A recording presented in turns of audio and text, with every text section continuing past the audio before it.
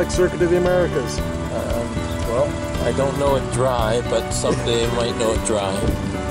Few do on this weekend. But for a guy who likes corners, there are lots of corners. The straightaways seem to resolve themselves fairly quickly, so you can get on to the next corner.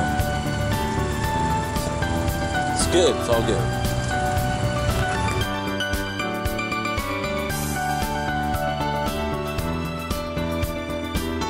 good.